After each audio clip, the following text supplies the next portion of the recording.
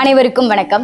இப்பெல்லாம் இயற்கையா இறந்து போறவங்களை விட தன்னம்பிக்கையை இழந்து தற்கொலைக்கு தள்ளப்படுறவங்க தான் அதிகம். உயிரோட இருந்தா கூட பிரச்சனைக்கான தீர்வை கண்டுபிடிச்சு நிம்மதியா வாழ்ந்துட முடியும். ஆனா இறந்துட்டா இறந்ததுக்கான காரணத்தை கண்டுபிடிச்சு மறுபடியும் வாழ முடியுமா? வாழக்கூடாதுன்ற முடிவை மட்டும் சீக்கிரமா எடுத்துடுறோம். ஆனா ஏன் சாகணுங்கிற கேள்வியை மட்டும் கேட்கவே மாட்டோம். நம்ம சத்த யாருக்கு லாபம்? இந்த மண்ணுக்குள்ள மக்கிதான் போக போறோம். இல்ல எரிஞ்சு சாம்பலாக போறோம். இதுக்கா பிறந்தோம்?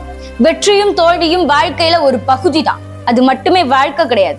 அதை தாண்டி இந்த பிரபஞ்சத்துல நம்ம அனுபவிக்க வேண்டியது நிறைய இருக்கு. இந்த அற்புதமான வாழ்க்கைய முழுமையா வாழணும்னா அதற்கு முதல் தேவை ஊக்கம்தான். ஜென் கதை ஒண்ணு இருக்கு. என்னன்னா நோபினாகா அப்படிங்கிற ஜப்பானிய போர் வீரன் எதிர்நாட்டு மன்னன் கூட போரிட போறாரு. ஆனா எதிராளிகிட்ட இருக்கிற படை வீரர்கள்ல ஒரு பங்கு கூட இவர்கிட்ட கிடையாது. ஜெயிச்சிருவோங்கிற நம்பிக்கை நோபினாகாக்கு இருக்கு ஆனா படை வீரர்கள் கிட்ட இல்ல.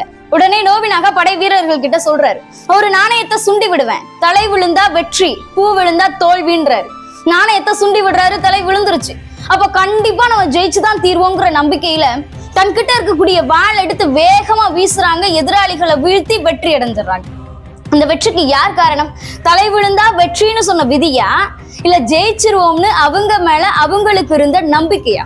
இதுல சுவாரஸ்யம் என்னன்னா வெற்றி அடைஞ்சதுக்கு அப்புறம் நோவினாக அந்த நாணயத்தை காட்டுறாரு. ரெண்டு பக்கமும் தலைதான். இவ புரிஞ்சிருக்கும். அந்த வெற்றிக்கு காரணம் விதி இல்ல நம்பிக்கை தான். நம்ம மேல நமக்கு நம்பிக்கை இருந்தா தற்கொலைங்கிற எண்ணத்துக்கே இடம் இல்லையே விதியை நம்புற நம்ம நம்மளை நம்புறது இல்ல இவ்வளவுதான் வாழ்க்கைன்னு தீர்மானிச்சிடறோம். வாழ்க்கையை தெரிந்து கொள்வதற்கு காத்திருக்கணும். காத்திருப்பதற்கு பக்குவம் இருக்கணும். பொறுமை இருக்கணும் தெளிவு இருக்கணும் தன் லட்சியத்து மேல ஆழமான பிடிப்பு இருக்கணும். ஆனா பொது தேர்வுல மதிப்பெண் குறைஞ்சிருச்சுன்னு தற்கொலை பண்ணிக்கிறோம். நீட் தேர்வுல தேர்ச்சி அடையலன்னு தற்கொலை பண்ணிக்கிறோம். விவசாயத்துல லாபம் கிடைக்கலன்னு தற்கொலை பண்ணிக்கிறோம். கடன் தொல்லைன்னு தற்கொலை பண்ணிக்கிறோம். பிரச்சனையை சமாளிக்க முடியலன்னு தற்கொலை பண்ணிக்கிறோம். காதல் தோல்வின்னு தற்கொலை பண்ணிக்கிறோம். இப்படி எல்லா விஷயத்துக்குமே தற்கொலையை ஆயுதமா தீட்டி தன்னம்பிக்கையை மழுங்கடிச்சிடும். நம்ம எதெல்லாம் முடியாதுன்னு சொல்றோமோ அதெல்லாம் யாரோ ஒருத்தர் முறியடிச்சிட்டு இருக்காங்களே நம்மளால ஏன் முடியாதுன்னு சிந்திக்கிறதே இல்லை.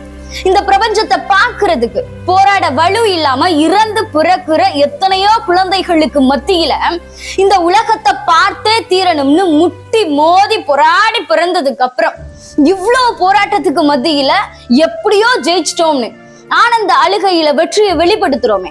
இந்த நம்பிக்கை இந்த போராட்டம் ஏன் வாழும்போது இருக்கிறது இல்லை இதை நம்ம யோசிக்கிறதே இல்லைல்ல?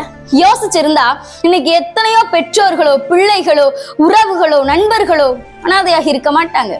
கவிஞர் வைரமுத்து அழகா சொல்லியிருப்பாரு என்னன்னா சாவை சாவு தீர்மானிக்கும் வாழ்க்கையை நீ தீர்மானி. இதைத்தான் நானும் சொல்றேன் வாழ்க்கை வாழ்வதற்கே. சிந்திப்போம் செயல்படுவோம். நன்றி.